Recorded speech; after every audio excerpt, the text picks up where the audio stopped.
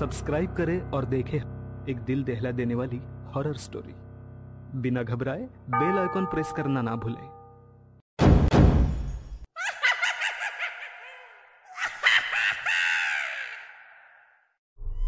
इस कहानी की लेखिका है सोनिया सैनी। अमावस्या की काली रात थी। शहर से बहुत दूर एक निर्जर पहाड़ी के शमशान भूमि में उसने ज़मीन पर कुछ ज्यामितीय आकृतियाँ खींचकर उनमें मानव खोपड़ी, सिंदूर, नारियल, तेल रक्त पुष्प और अक्षत रखे हुए थे। आँखें बंद करके वो मंत्र बुदबुदा रहा था। बीच बीच में वो खोपड़ी के ऊपर अक्षत, सिंदूर और पुष्प चढ़ाता तो खोपड़ी खुद ब खुद अपने स्थान पर कंपन करने लगती।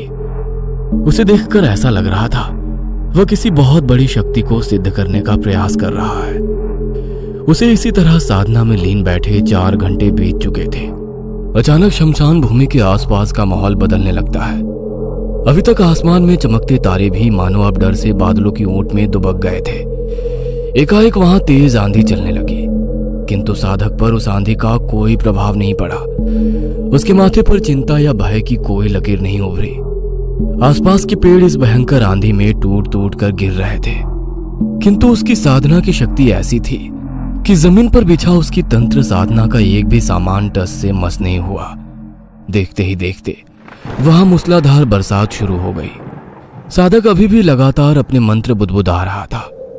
आंधी और बरसात के साथ, वहाँ का तापमान शून्य जितना ठंडा होने लगा। एक लंगोट के अतिरिक्त उस साधक के शरीर पर कोई वस्त्र नहीं थे। हाड़ कपाती ठंड में भी, वह भाव शून्य सा अपनी साधना में लीन था। ठंड से उसका शरीर नीला पड़ रहा था, किंतु उसके चेहरे पर अभी भी कोई भाव नहीं आ रहे थे। तभी वातावरण में एक साथ कई सारे प्रेतों के हंसने रोने की भयानक आवाज़ें गूंजने लगी। अब तो शमशान के दूसरे छोर पर गुप्त कैमरा लगाकर, वीडियो रिकॉर्ड करते अनय के हाथ पाँव भी ठंडे पड़ने लगे थे। उसने कैमरे में देखा तो उसे अब अघोरी साधक के आसपास बहुत सारी भयानक आकृतियाँ घूमती नज़र आने लगी। इससे आगे रिकॉर्ड करने की हिम्मत अब अनय के अंदर नहीं बची थी। उसके हाथ पैर कप कपा रहे थे। लेकिन इस समय वो वहाँ से बाहर भी नहीं निकल सकता था, क्योंकि हर तरफ़ प्रेत घूम रहे थे। और किसी भी सामान्य व्यक्ति का खुली आँखों से प्रेत देख लेना, खून जमा देने के लिए काफ़ी होता है। अनय एक ब्लॉगर था। अपने YouTube चैनल पर अद्भुत घटनाओं को दिखाने के कारण, उसके पास तीन मिलियन से भी ज़्यादा सब्सक्राइबर थे। अभी तक उसने अपने चैनल पर कई सारे ढोंगी तांत्रिकों ओझाओं का पर्दाफाश किया था। उसके दिमाग में हर समय यही चलता रहता कि कैसे उसका चैनल ट्रेंडिंग रहे। यार अमित मेरे पास एक आइडिया है। तुझे पता है इस साल महाकुंभ लगने वाला है। वैसे भी ये बारह साल में एक बार लगता है। ओ, क्यों ना हम लोग भी जाकर वहाँ वीडियो रिकॉर्ड करें। मैंने सुना है बड़े बड़े साधु तपस्वी कुंभ में ज़रूर आते हैं। अरे यार ये हमारे चैनल के लिए कुछ अलग होगा। क्या कहता है? अरे यार मुझे तो तेरा ये आइडिया उतना हैपनिंग नहीं लग रहा है। कौन देखेगा तेरा महाकुंभ? यूथ को इन सब में कोई इंटरेस्ट नहीं है। अरे, जहाँ तक मैं सोच रहा हूँ तो वहाँ तक पहुँच ही नहीं रहा है। तो बस सामान बाँध। हम चल रहे हैं बस।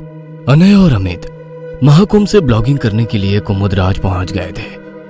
नदी किनारे पहुंचकर उन्हें कई सारे जटाधारी साधु लंगोट पहने दिखाई दिए। उनके हाव भाव रहन सहन कुछ अजीब सा था। अमित देख, वो सब साधु संत उधर बैठे हैं। मैं उनसे बात करने जा रहा हूँ।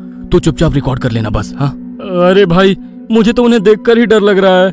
क्या क्या करता है तू इस ब्लॉगिंग के चक्कर में? लेने के देने ना पड़ जाए कहीं। अमित की बात को इग्नोर करते हुए अनय बाबा के पास पहुँच जाता है। आ, बाबा आपने वस्त्र क्यों नहीं पहन रखे हैं? ये आपके समाज का कोई विशेष रिवाज है क्या? हम अघोर पंथी है। ये दिशाएँ ही हमारे वस्त्र है और शमशान भूमि हमारा घर। आप लोगों का मन नहीं करता हमारे जैसे फैशनेबल ड्रेस पहनने का मोबाइल चलाने का? ये आज मरवाएगा। पता नहीं क्या अनाप शनाप बक रहा है। तुम मोह के बंधन में फंसे अज्ञानी बालक हो। हम साधक हैं तपस्वी हैं। हमारे ज्ञान और विवेक को समझना तुम्हारे बस का नहीं। बाबा प्लीज़ डोंट माइंड मतलब गुस्सा मत करिएगा। वैसे क्या साधना की है आपने? और एक्चुअली ये साधना वादना कुछ होती भी है या आप लोग वैसे ही? इतना कहकर अनय ने हँसते हुए बाबा को शरारत से आँख मार दी। तेरी अज्ञानता भरी बातों से मुझे क्रोध नहीं आएगा बालक। क्रोध तो मेरे लिए बहुत तुच्छ चीज़ है। आज तो मैं डाकनी को साधने वाला हूँ। क्या कहा डाकनी? वो क्या होती है? क्या बला है ये? आगे के प्रश्नों के उत्तर देने की जगह। बाबा ने कुछ पल तक क्रोध भरी नज़रों से अनय को घूरा और फिर वहाँ से उठकर चल दिए। ये सब क्या बचपना है अनय? ये सिद्ध महापुरुष है। इनसे इस तरह की बातें नहीं की जाती। भाई श्राप राप दे दिया ना तो बस गई भैंस पानी में। अबे तू ये सोच अपने चैनल पर जब ये वीडियो आएगा तो धमाल मच जाएगा। अपना काम ही ऐसा है यार। और अब मैं यहीं रुकने वाला हूँ। आगे के एपिसोड्स भी यहाँ से शूट करके ही जाऊँगा। भाई मैं इन सबसे बाहर हूँ। तू अपना देख ले। व्यू बढ़ाने के लिए मैं अपने धर्म का यूँ मज़ाक नहीं बना सकता। और मेरा सजेशन मान तू भी चल यहाँ से। अब मुझे तेरी ज़रूरत नहीं है। तू बस एडिटिंग का काम संभाल वीडियो शूटिंग मैं कर लूँगा। क्या करने वाला है तू? आज रात को मैं बाबा का पीछा करूँगा और उसकी साधना करते समय वीडियो रिकॉर्ड करूँगा। और पूरा भारत देखेगा कि डाकिनी कैसे सिद्ध होती है। अनय के सर पर बस अपने चैनल को ट्रेंड करवाने का बहुत सवार था। अमित के समझाने पर भी वो उसकी कोई बात सुनने को तैयार नहीं था। आधी रात को। बाबा अपने कैंप से निकलकर शमशान भूमि की ओर बढ़ गए। अनय भी धीमे कदमों से उनके पीछे पीछे हो लिया। वहाँ पहुंचकर बाबा ने पहले अपनी पूजन सामग्री को मंत्रों से सिद्ध किया और फिर वे डाकनी मंत्र साधना में लीन हो गए। अनय के पसीने तो खोपड़ी को हिलता देखकर ही छूट गए थे। फिर भी वो हिम्मत करके वहाँ रुका हुआ था। अपने चारों ओर प्रेतों को यूँ घूमता देखकर अनय को अब बहुत डर लग रहा था। उसका हलक भय से सूखने लगा था। एकाएक उसने देखा कि बाबा के सामने एक बहुत ही भयानक आकृति उभरने लगी। धीरे धीरे वो आकृति एक स्त्री में बदल रही थी। वो स्त्री तकरीबन आठ फीट लंबी थी। उसके खुले लंबे बाल हवा में लहरा रहे थे। स्त्री ने काले पारंपरिक वस्त्र पहन रखे थे और उसका काला लंबा आंचल दूर तक ज़मीन पर फैला हुआ था। उसकी आँखें बेहद डरावनी और लाल थी। उसके चेहरे के भाव इतने भयानक थे कि अब अनय के लिए वहाँ खड़ा हो पाना कठिन हो रहा था। अचानक उस स्त्री ने अनय की ओर चेहरा किया और क्रोध में उसकी ओर देखा। बिजली सी गति से वो अगले ही क्षण ठीक उसके सामने पहुँच गई थी। ये देखकर अनय के हाथों से कैमरा छूट कर नीचे गिर गया और वो डर से वहीं बेहोश हो गया। अगले दिन सुबह उसकी आँख खुली तो वो अमित के सामने होटल रूम में था। हो गई तेरी मसालेदार रिकॉर्डिंग पूरी। या अभी भी कुछ बाकी है। और हाँ भाई, होटल आकर भी तो सो सकता था। शमशान में कौन सोता है? मज़ाक मत कर यार। जो मैंने कल रात देखा, उसे बताने में भी मेरी आत्मा काँप रही है। तू बस देखे बिना कैमरे से पूरा वीडियो डिलीट कर दे। अबे कुछ रिकॉर्डिंग होगा, तभी तो डिलीट करूँगा। कुछ नहीं है तेरे कैमरे में। अबे तूने सोने के अलावा कुछ किया है वहाँ? या भूतों के साथ नाइट आउट करने में बिज़ी रहा बस? सुबह तक भी जब तू नहीं लौटा तो मैं चिंता में शमशान की ओर बढ़ गया। वहाँ जाकर देखा तो जनाब मुँह खोले पड़े हुए हैं। हो गया एडवेंचर ट्रिप या कुछ और भी बाकी है। अनय अमित की बात सुनकर गहरी सोच में पड़ गया था। ऐसा कैसे हो सकता है कि कैमरे में कुछ रिकॉर्ड ही नहीं हुआ? उसने तो सब कुछ रिकॉर्ड किया था। उसी रात फ़्लाइट लेकर दोनों मुंबई लौट आए थे। रात के तीन बज रहे थे। अनय अपने कमरे में सोया हुआ था। तभी उसे अपने पैरों में कुछ सनसनाहट सी महसूस होने लगी। धीरे धीरे यह सनसनाहट पूरे बदन में फैलने लगी थी।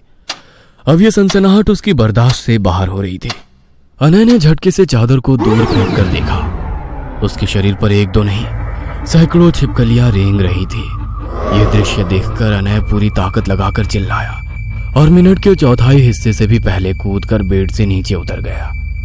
चीखते हुए वो उन छिपकलियों को खुद से दूर भगा रहा था। उसके जिस्म का रोआ रोआ डर से काँप रहा था।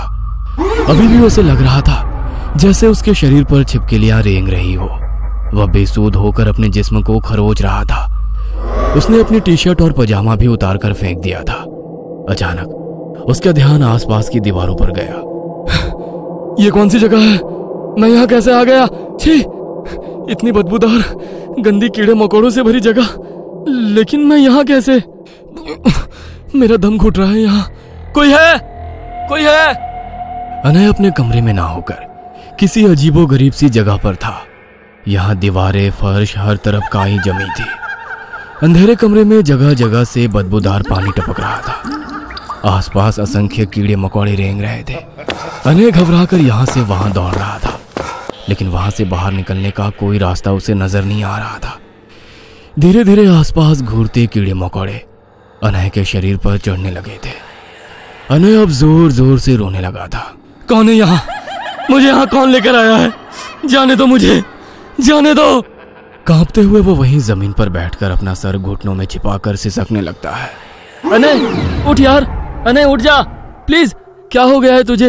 ये क्या हाल बना रखा है? अनय अचानक ही नींद से उठा। उसके बदन पर नाम मात्र के ही कपड़े थे। शरीर पर जगह जगह नीले काले निशान बने हुए थे। उसके अंदर से गंदी बदबू आ रही थी। अबे रात में गटर में सोने गया था क्या? छी इतनी गंदी स्मेल। अपने सामने अमित को बैठा देखकर फूट फूट कर रोने लगा। मेरे साथ कुछ हो रहा है यार। कुछ बहुत अजीब। अगर मैं तुझे बता भी दूँ तो भी तू यकीन नहीं करेगा।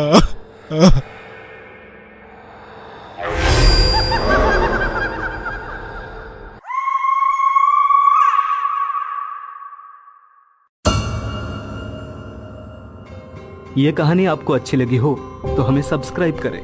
हमारा इंस्टाग्राम और फेसबुक पेज ज़रूर फॉलो करें। और हाँ दोस्तों सब्सक्राइब करना भूलना मत।